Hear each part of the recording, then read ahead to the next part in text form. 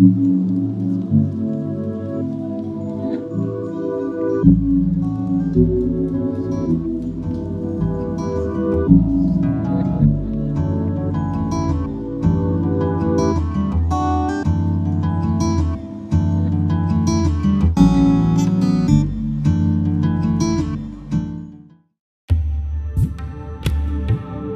눈썹은 약간 일자해서 눈매를 가로로 눌러주는 느낌이라고 해야 할까? 눈이랑 눈썹이 조금 가까워 보였고 두꺼웠어요. 그 느낌으로 그려줍니다. 저는 약한 음영은 전부 shading 제품으로 다 해버리는 편이에요. 얼굴 위에 색조가 알록달록하게 올라가는 걸 별로 안 좋아하거든요.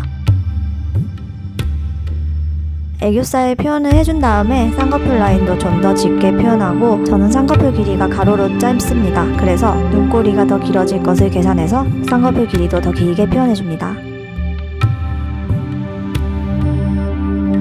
지방시 프리즘 콰트로 9번 팔레트도 음영 표현에 정말 좋은 색조합을 담고 있어요. 노란기가 적고 섀도우 자체의 질감도 너무 곱고 뭉침 없어서 cool tone 음영 기본 섀도우로 정말 추천해요. 남성분들께도 정말 추천하는 lip 컬러예요.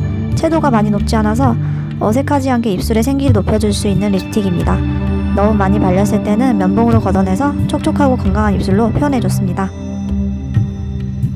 사실 저대로는 너무 연해서 눈 가장자리에 짙은 고동색 섀도우를 좀 더 발라줬습니다.